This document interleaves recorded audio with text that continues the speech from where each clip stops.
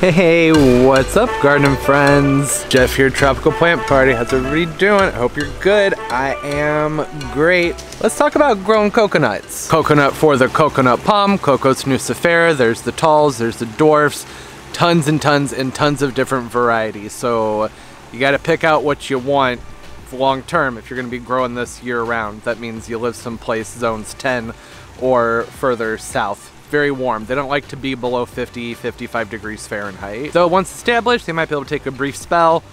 That's a whole different video. I'm going to do a separate video on uh, growing these, more so as far as houseplants. We'll talk about it a little bit at the end of this one. If you are going to be growing this year round in your garden, it's going to grow into a big tree.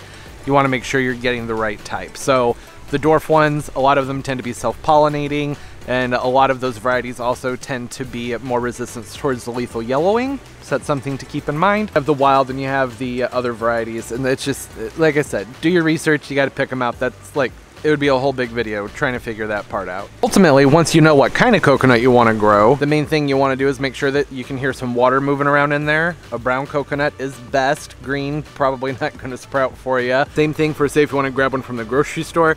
I don't have any of those little coconuts laying around, but I have a dried up one back there. You just want to shake it up, make sure that you can hear the water on the inside. Those are not always going to be as likely to sprout because you just don't know what they've been through refrigeration wise and whatnot. There are a few different ways to sprout a coconut. I'll go through two or three of them. It's really, it's not complicated and uh, there are going to be variables as with anything. But for starters, there's kind of like the old school classic method where you just take a pot, preferably something about 10 inches. This is an 8 inch, that's all I had around. Fill it with sand and take your coconut and make sure that that is buried in that sand until it's covered at least a half to two thirds of the way.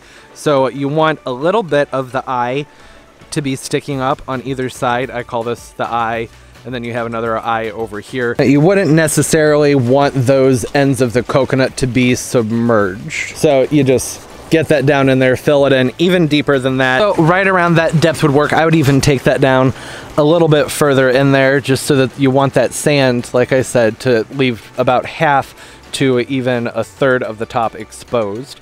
The rest of it needs to be down below the sand or potting mix, whatever you're using. It just needs to drain very well. I'll talk more about the blend here in a minute when I mix some up. This method really only practical for a whole coconut, one that's already been husked probably not going to work out as well. Those coconuts are much more likely to rot in the long time that it takes to get these to sprout. You're looking at several months if you do it this way. Potentially looking at several months either way, but there are ways to speed things up. So you can take a bucket. This works for either type of coconut, a whole or a husk coconut. Drop that nut in there. Then take a rock or just something heavy, get that into that bucket. Want to make sure that that coconut's totally in there so it will fully soak. Then you can take this bucket, put it someplace dark and rather warm, so maybe near a water heater, something like that. Just dark and warm for at least three to four days. And be careful, you know, don't you don't want to put this in something that's going to overheat or melt or set your house on fire. You can't blame me for that. Be careful. Make sure to use your brain on that one. Don't do anything dangerous. Doesn't need to be piping, piping hot. Just warmer than your average household temperatures. Preferably this water would be, I'd say, at a minimum 77 degrees preferably warmer, probably no warmer than 90. That would probably be pushing it further than it needs to be. If you don't have a bucket, you can also use a really, really big Ziploc bag. Throw the coconut in there using, like I said, a whole coconut or a husked coconut. Either will work. Fill that with water. The advantage to doing it that way is normally you can get enough water into those bags that you don't need something to weigh it down. Like there might be a little air bubble moving around on top of it, but usually that works just fine. So it'll stay surrounded by water. Okay, now let's say four days has passed. Go ahead, pull that rock out and get your coconut out of your bucket. Whole point of this is to make sure that the coconut itself gets nice and saturated, that it can soak up some water. Theory here being that it just kind of speeds up the germination process. It takes a long time to sprout a coconut. You're looking at anywhere from, uh, it can be sometimes as short as a couple weeks, which isn't that common, up to like 10 to 14 months sometimes. There's a lot of variation in how long it's gonna take to get these things growing. It's time to pot that coconut up. When it comes to your potting mix, there are a lot of options. You use a cocoa base, peat base, whatever you want. The main thing is that it needs to drain very, very well. I prefer to use a blend of just all-purpose potting mix, which is what's in here, with at least 50% sand, so a one to one ratio. And that's, like I said, at the minimum. The soil I have blended up here is very, very sandy. I just used regular sand. It's actually, it's the Quikrete pool filter sand, just because that's what I had around, and that'll work fine. Main thing is that it drains well. And then of course, water that in very, very heavily. I wanna make sure that the water goes from the top out the bottom at least three times. It really needs to be fully saturated. And as I mentioned, there are a lot of different ways you can pot these up. I would get online if you wanna find like a particular mix, something more specific. This is just what I've always done and what's always worked for me, but there are a lot of other options out there as far as the blends go for what kind of soil you want to use in there. But for me, like at least a 50-50 blend all-purpose potting mix with plenty of sand has always done the trick and been fine. Like I said, it's a minimum 50-50. Needs to drain very well. You gotta consider where do coconuts grow, right? Typically on the beach. They'll grow inland also. Common denominator though is well-drained soil. That's the main thing. So it needs to drain freely.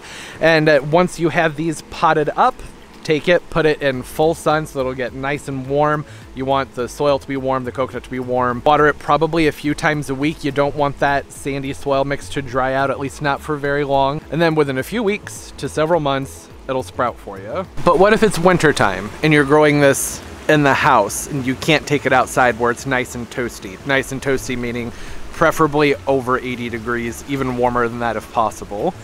Then the other option is to go ahead and put a bag over the top of this, put it in a window where some light can get through there and keep a close eye on things for any molds, funguses, anything like that. Be prepared to spray those down with some peroxide if that should happen. But the main thing is to put some kind of dome over the top to allow the humidity to stay in and to keep it nice and warm.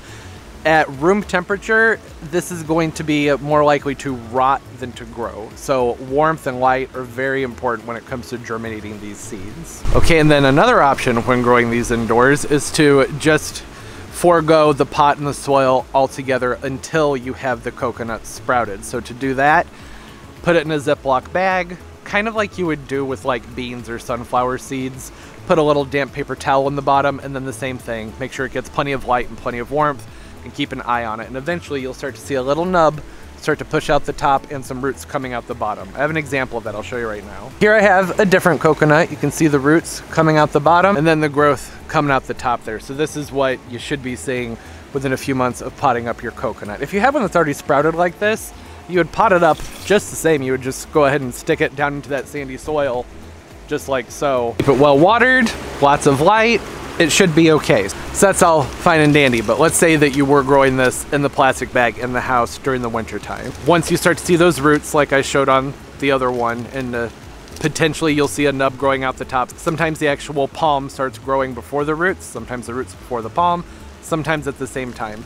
The main thing is once you start to see that and you have I'd say a good three inches of root on the plant, then that's when you can go ahead and remove the coconut from the bag that should also have like a paper towel or something moist in there.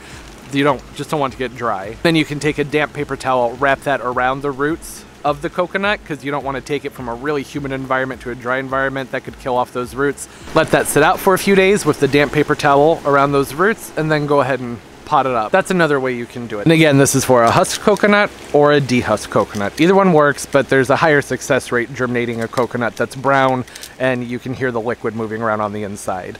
The ones that come from the store, it's doable, but sometimes more challenging. There's just a higher failure rate, but it's certainly worth trying. So that was a few different methods, how to germinate a coconut.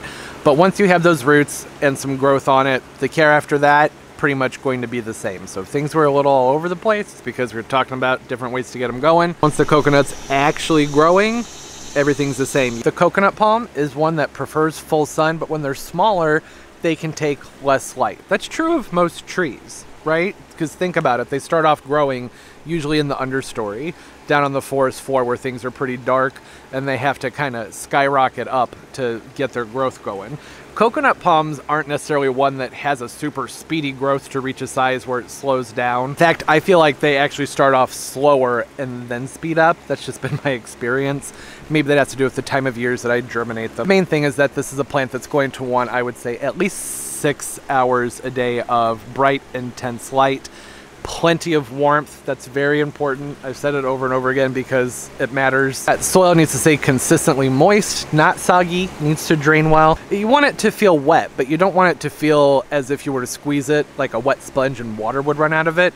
Then that's too wet. That can lead to rot. Where I live, it's pretty warm during the summer, pretty humid. This is one that I would need to water oh, I would say at least four to five times a week, but that's because it's very warm, so that soil is going to dry out more quickly. And that's just how things are with sandy, well draining soils. They need to be watered more often, but that's okay. I would rather have to water it more often than water it too little and then have it rot. That's another reason why when I plant the coconuts, I didn't really mention this before, but with really anything, I like to make sure there's about a one inch difference between the surface of the pot and the surface of the soil. That way it's easier to uh, basically drench it and let the water run down without having soil spill over the top like it did right here and just make a mess everywhere. Uh, there's a continuous release fertilizer mixed into the soil blend. It doesn't matter that much. A coconut like this that's already sprouted and has some roots, that's great. For one down there that's not even growing yet, it doesn't matter that much. It really doesn't. It, it, can help. It's not going to hurt to have the release of the nitrogen and potash and phosphates and whatnot into the soil it's useful, but it's just not going to do a ton when there aren't roots to take it in. In theory, if the fertilizer is a good one, that that might help get the germination going if it's able to seep itself into the actual coconut. I don't know. However, once the coconut's growing, having a continuous release fertilizer, one that's well blended, made for palm trees, isn't a bad idea. Coconuts usually grow in soil that's pretty barren, but it can be very rich in minerals. There's not a lot to sandy soil, but if they're near the ocean, there are a lot of minerals. That water is actually very nutrient dense and uh, they will take that up. Some people will even add some salt into their water when they fertilize these. I'm talking about sea salt, rock salt, salt that you would use in like a saltwater aquarium. That's where things get kind of complicated and that's going to be in the next video about how to grow the coconut palms indoors as a house plant and outdoors. Now, for this video, I wanted to focus more on getting the coconut started, how to do so, and then basic care afterwards. Lots of light, lots of water, lots of warmth, good airflow, those sorts of things. Growing a coconut palm indoors under normal household conditions is a, it's it's a topic that would make for a very long video. There it is, that's how I start my coconuts and what I do with them initially right after they've sprouted. I will mention I could have potted this down a little bit deeper so that the soil line was right around here. Since there are already roots coming out the bottom, I didn't need to worry about that. If you can see where the roots are, that makes it a lot easier to plant them than when you're just working with an unsprouted nut like this one over here, this one right there. There are some uh, methods for doing coconut bonsai. That's one of the reasons I have this potted up like this. I had planned on doing things the way that I did them so that I'm going to actually try and get some roots to come out from over here, which you can do by packing like some moist moss and over on the side and that will help encourage roots to come out and then you can put a rock along the side and slowly train those roots to grow across it. It looks really cool, but again, that's a whole nother video. What are some of the ways you guys grow your coconuts? There are so many forums and boards and websites out there that talk about sprouting up coconuts and how to grow them as house plants. I highly suggest checking out the internet, doing some Googling. Maybe that's how you found this video. But it's just one of those things where there's a lot of information out there about it. And uh, while it's not necessarily complicated, there are just so many different fun ways that people have figured out how to get these growing and how to keep them growing. But comment down below. Let, let me know. Tips, tricks, suggestions, always appreciated. It's how we all learn and grow together. Yeah, and like I said, in the next coming weeks, several videos from now, maybe a couple videos from now, I don't know, I'll have a video on actually how to grow these, more focusing on how to grow them as a house plant. There's enough to it that it deserves its own video. In a nutshell, get it? The nut nut. Coconut palms don't make the best house plants, at least not long term. Not something that you're likely to have for 15 or 20 years in the home. There are always exceptions. Like I said though, we'll talk about that in another video. I hope everybody's doing well, having a great day and a great life and everything's going beautifully for you. My social media is linked down below. I use Instagram more than anything else. And don't forget to do the whole YouTube thing. You can like the video, I appreciate it. Subscribe as well and hit that notification bell. That way you know new videos come out. I always appreciate the support. It means a lot to me. Thank you all so, so, so much. And of course, as always, and most importantly, everybody, keep on growing. Bye bye.